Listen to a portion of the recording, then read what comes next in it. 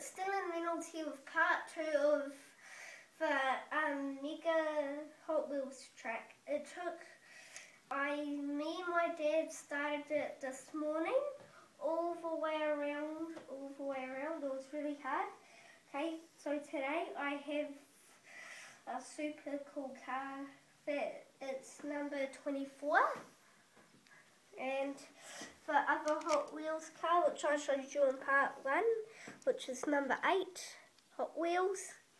And so today is part 2 okay. Ready? Go.